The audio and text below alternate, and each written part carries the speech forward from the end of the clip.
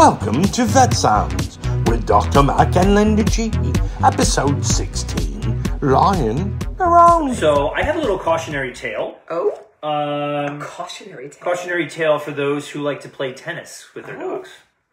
So an employee of mine um, has such a dog. I mean, how many dogs out there that love to play tennis?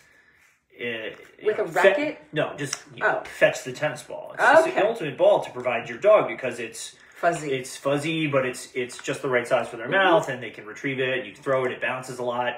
But guess what? Tennis balls, if you're a big enough dog, will eventually be popped and, and swallowed. ripped up and swallowed. Mhm. And so she had to go to the emergency vet Mhm. on Saturday night with her vomiting dog, and they took X-rays, and the X-rays of her poor dog uh, were normal. They were they did not show anything wrong. And well, guess what? A tennis ball is invisible on an X-ray, and so they gave course. her Oh, they gave her dog some treatment, some supportive care, some anti-nausea treatment, and she took her dog home. And then they Oh. were home for a couple of hours, and then the vomiting resumed, even worse than the first time. Sure enough, they ended up back in the emergency room, and an ultrasound was done, which revealed the foreign substance that the, Mm-hmm. the hard rubber that the uh, X-ray did not show. right. And um, thankfully, he's doing great tonight. He had surgery and he's he's recovering well. Thank God. It was a scary time. Racket balls are smaller than tennis balls, and they're not fuzzy. They're very smooth. Yeah. And once they get a little wet with the dog's saliva, It goes down in lodges, I bet. this dog choked to death. I mean, obviously, dogs love to play ball, but just be careful. You know, match up your size dog with the proper size ball. Time to put away all the sharp objects. It's Monday Night So, Goofball. Linda G, Yes, Dr. Mac. three vampires walk into a bar. Okay.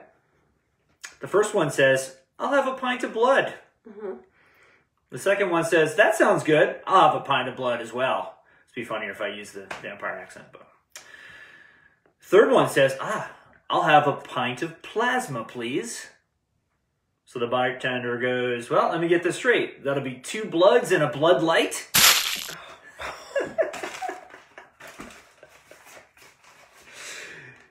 So Linda, you know I have, uh, you know I'm a Scrabble fiend. Those of you who know me know that I play Scrabble all day and all the night. I'm exhausted. it's also known as. I can't. I don't know if I could handle much more. You got to play Scrabble against me. I'm telling you what, it's going to revive you. I got a panicked phone call from my friend Susan, who I play Words with Friends with. Okay.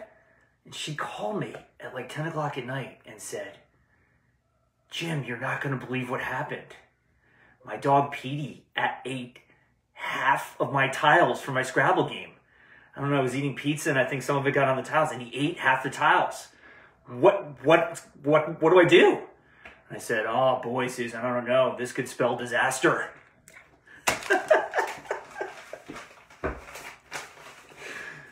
Uh, okay.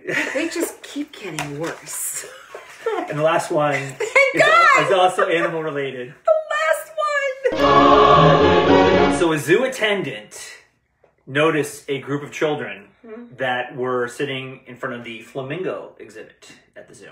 Okay. And you know the flam- flamingos are a little bit farther away, and you know um, these kids were you know obviously really rich kids apparently, so they were balling up. Apparently, they were balling, balling up ten dollar bills and throwing them to the flamingos to see if they would catch them and eat them. The zookeeper ran over and said, "Oh my God, what are you doing? It- Can't you read the sign?" And the kid said, "Yeah, it's no problem. Do not feed. Ten dollar fine."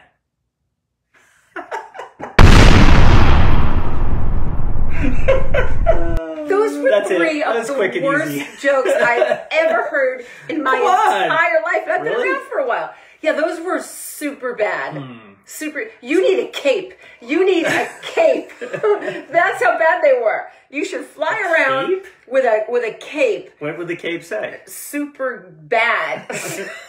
Super bad. Don't forget to hit subscribe below. So, joke number one. how you come back though every week.